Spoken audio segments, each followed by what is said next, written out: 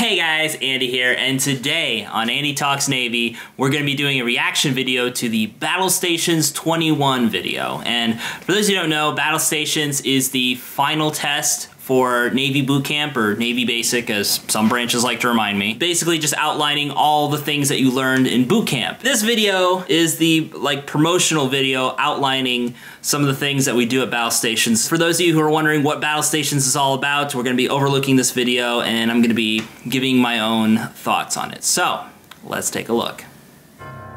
The ship you are about to board. Oh yeah, Tin Can Life. Dedication to the Navy and to his fellow sailors. In 1911, he led Hmm. the very first division. This is like old school Navy, dude. This is like old, old Navy. They're almost trained kind of like the Army in a way.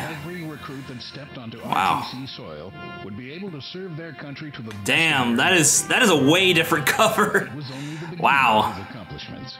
He began as an enlisted sailor, led recruits as a chief petty officer, and ultimately rose to the rank of lieutenant. He's got a little bow tie? Is that what it looks like? It's insane. Rewarded with a Navy Cross in 1917. Giving this destroyer the name Yeah. USS Trayer. The Trayer. the career of a man who laid the foundation for every sailor who Mm-hmm. from Recruit Training Command. Mm-hmm. Yep. Many Navy warships bear the names of great naval heroes. These heroes and their accomplishments evoke our proud heritage of honor, courage, and commitment. Who ya? Oh man, look, that dude's this got utilities on, dude. I, I never I never had to deal with utilities. Um, I came in, I think around the second or third cycle when they started doing end dubs. So I never never got utilities. Wow. Yeah, into 13 Yep, tests Marlin Spike. Oh, we we fucked up Marlin Spike so bad, dude. It's basically like kind of the halfway point. Oh, so many knees on the deck. So many knees on deck. Oh wow, we never did this. I think in July 1960. I think this is like the old version of battle stations. Yeah, we we never did this. So th- this must this must be some old stuff right here. Event that stood the test of time, from the first divisions that ran battle stations on into the modern era. Yeah. Okay. All the legacy Yeah, and then the swim test. Like, I still get questions about the swim test, and I, I really want to do a new video on it to kind of give you guys some updated info. Wow, look at those SCBAs. I don't even think they were called SCBAs. Teamwork and ability to apply Navy core values. It also provided Jesus. Leadership with important lessons learned. Oh yeah, dealing with casualties. of recruit training. Yeah. Okay. yeah. Ten years later, Ah, here we go. Here's the new one. the Department of Defense's Yeah. most cutting-edge trainer. Entering a 157,000 Mm-hmm. God. square foot building. Dude, I was so nervous that night. 210 foot long replica of a guided missile destroyer. Yeah. Tin can life, boy. Aptly named for Great Lakes First Division. Man, I was so nervous that night, man. The pier is complete with a facade that replicates actual piers in Norfolk and Yorktown, Virginia. Yeah, and that, that was pretty crazy. Like they, they put a lot of effort into making it like as realistic as possible. Um, gallons of water splashed Ob- obviously, it's a lot cleaner than the uh, the real deal, and the P-ways are much wider. thanks to the But uh, the latest in virtual yeah, entertainment technology, and modern construction. for a training simulator, this is They are in this pretty spot on. immersive environment. Recruits proceed Oh man, utilities and the guard belt. We still had the guard belt when I was going through uh, going through boot basic, whatever. Realistic consequences for their actions.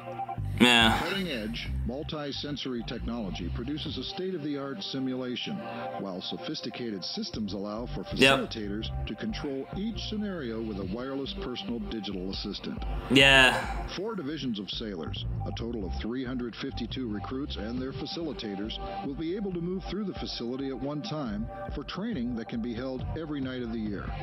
Multiple events. Yeah, it's, it's, nuts how many many uh, divisions they can go through, like just like that. Several times within a night, so that all participants can experience each event. But it's a pretty long evolution, so.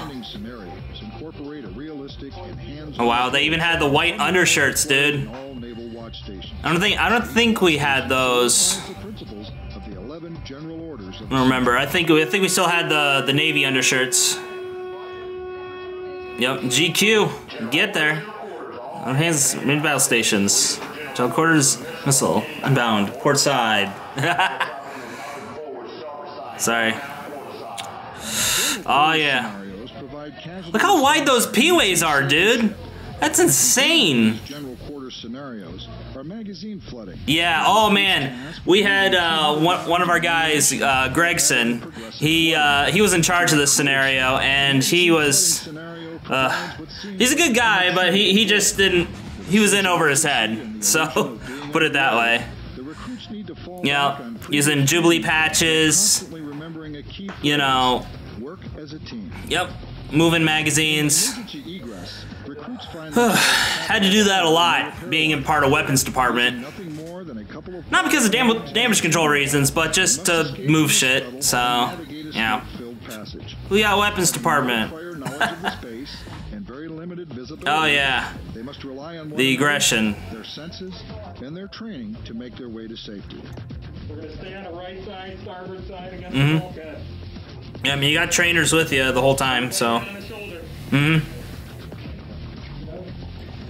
And it's just insane, like, look, look at all this mass casualty stuff.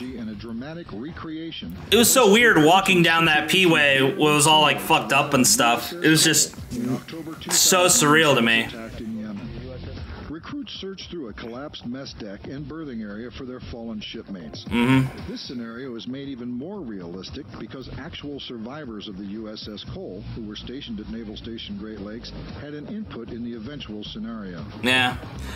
I'm, I'm kind of curious if uh, they'll incorporate some of the stuff that happened on uh, the Fitz recently with uh, some of the newer stuff for battle stations. I'm kind of curious sounding and teams being called away to their repair lockers, yep. to recruits donning protective gear and mm-hmm. the hoses while preparing to fight. Relieve the nozzle man eye! uh, bring back the memories, dude. Oh yeah, the hot box.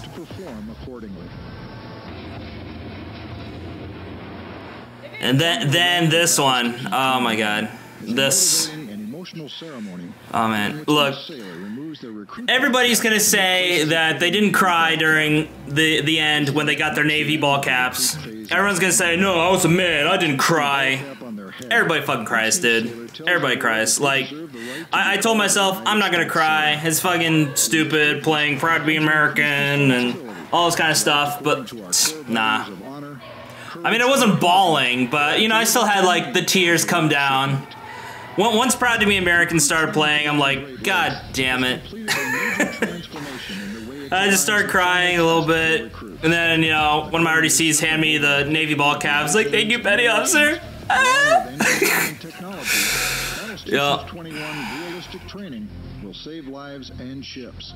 And most importantly, it will send a better trained sailor. Um, utilities though. So yeah, that was my reaction to the Battle Stations 21 video. Um, if you guys have any questions about Battle Stations, be sure to watch that video because uh, it, it basically outlines pretty much everything you need to know for battle stations. Everything else is just kind of scenario by scenario, but they they lead you through it. And you know, if you paid attention at all during the eight weeks of boot camp or basic training, you'll be fine. It's actually probably the most fun you'll have in boot camp. So uh, sure to have fun. And uh, with that said, guys, this is the Andy San. Sign up for now here at uh, Andy Talks Navy. And be sure to leave a like, subscribe, do all that fun YouTubey stuff. And as always, we'll see you next time.